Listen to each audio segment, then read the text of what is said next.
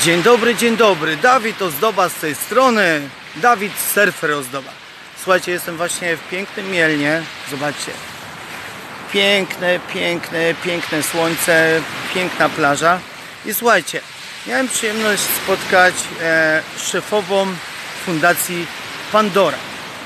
Czym się zajmują? Wiecie co? Ja dopiero dzisiaj się dowiedziałem, dzisiaj się dowiedziałem, że koń w Polsce jest zwierzęciem rzeźnym.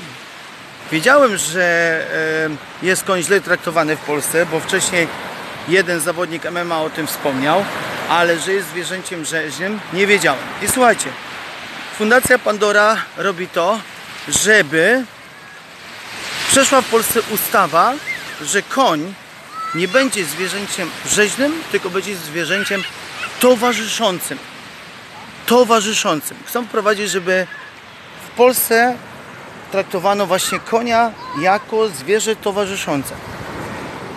Wiem, że to jest ciężkie, żeby ludzi do tego przekonać, ale mam nadzieję, że troszeczkę przyczyni się do tego, że ta ustawa przejdzie.